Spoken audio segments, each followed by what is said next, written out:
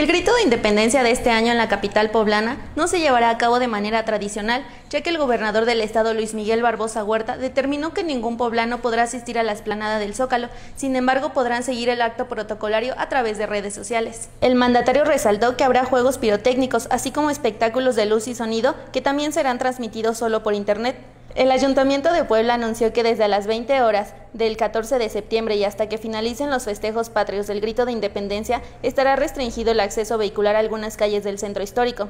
Las calles que serán cerradas son Avenida Reforma con 3 Norte, Avenida 16 de Septiembre con 3 y 5 Poniente, Avenida Juan de Palafox y Mendoza con 4 Norte, Calle 5 de Mayo con 2 Oriente, 2 Oriente con 2 Norte y 2 Sur con 3 Oriente, mientras que habilitarán como vías alternas la Avenida 11 Sur, 10, 12 y 14 Poniente y el Boulevard Héroes de 5 de Mayo. Es importante mencionar que además el gobierno de Puebla prohibió la instalación de ambulantes y puestos típicos de comida como tostadas, chalupas o semitas a fin de evitar la aglomeración de personas y con ello la propagación del virus COVID-19.